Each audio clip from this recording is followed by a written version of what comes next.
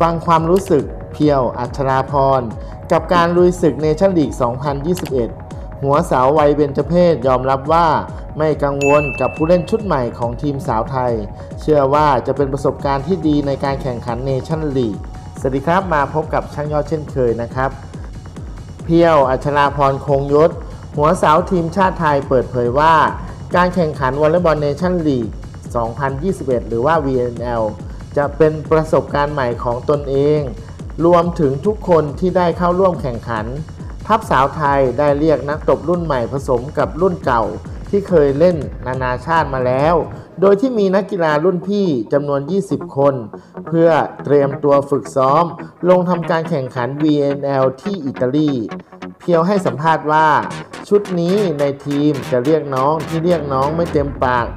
ด้วยความที่อายุรุ่นนี้ไล่เลี่ยกันมาก เห็นกันมานานพอสมควร ก็ดีค่ะ เป็นประสบการณ์ใหม่ของคนรุ่นใหม่ รุ่นกลางไปแข่งในรายการนี้ ที่ผ่านมาเรามีรุ่นพี่ที่โตกับรุ่นกลางไปแข่ง แต่อันนี้เป็นรุ่นกลางกับรุ่นใหม่ มันก็เกิดความท้าทาย เราก็รู้หน้าที่เราเป็นพี่เราจะต้องมีความรับผิดชอบมากขึ้น จึงดึงน้องกระตุ้นน้องยังไง ไปในทางที่ดีขึ้น support ทุกด้าน จิตใจ ร่างกาย การฝึกซ้อม อย่างที่รู้เวลาที่ซ้อมมันหนักมาก แต่ละคนต้องมีช่วง down มันก็เป็นโอกาสที่ดีสำหรับตัวเองกับน้องที่ได้ขึ้นมา เรื่องความกังวลคือ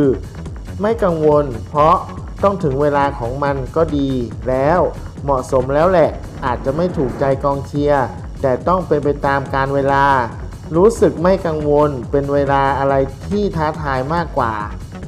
ส่วนการไปแข่งแบบ bubble อิตาลีอัจฉราพรได้กล่าวว่า เท่าที่ดูนักแบดมินตันไทยแข่งก็อยู่กันได้ ของเราก็ต้องอยู่กันได้ แต่นักแบดเขาอยู่ไทยมีอาหารไทย support แต่เราอยู่อิตาลีเราก็ต้องปรับตัวให้มากที่สุด และไวที่สุดกับการแข่งแบบ bubble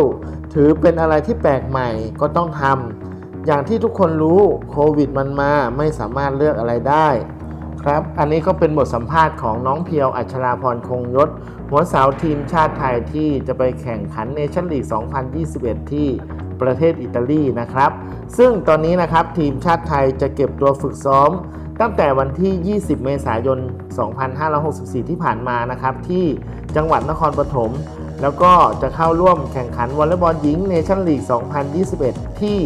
เมืองริมินีนะครับ ประเทศอิตาลี การแข่งขันนะครับระหว่างวันที่ 25 พฤษภาคมถึง 25 มิถุนายน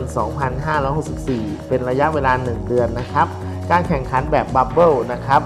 ครับสำหรับคลิปนี้ช่างยอดก็มีข่าวอัปเดตเพียงเท่านี้ รบกวนฝากกดติดตาม กด Subscribe กดกระดิ่งด้วยนะครับ เพื่อที่จะไม่พลาดข่าวสารดีๆ ที่จะอัปเดตทุกวัน เดี๋ยวเจอกันใหม่คลิปหน้าสำหรับคลิปนี้ สวัสดีครับ